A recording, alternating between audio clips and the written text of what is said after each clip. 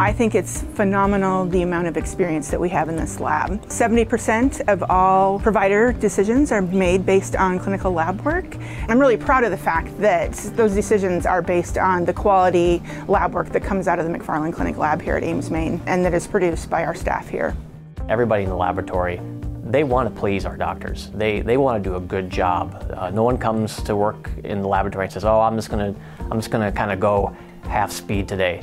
When people show up, they want to please our doctors, they want to take care of our patients, and they take a lot of pride in that. That means everything to me as the medical director. I think we have a dedicated team of professionals, beginning with uh, specimen collection all the way to test verification. They care about making the patient feel comfortable. There are people that care all along that route.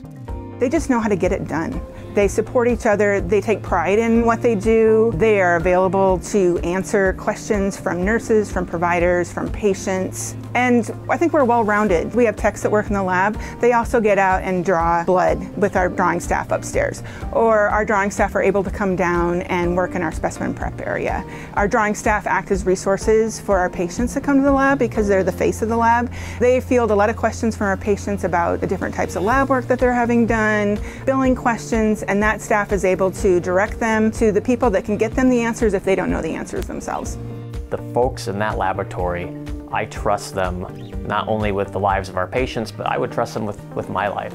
Uh, I, I, I, put a lot of stock into that, and it makes me uh, able to sleep well at night, uh, knowing that the laboratory is being taken care of by a great team and, and that uh, I have no worries when it comes to what we're producing out of that uh, clinical laboratory at the Ames Main Lab. I'm just really proud of this team.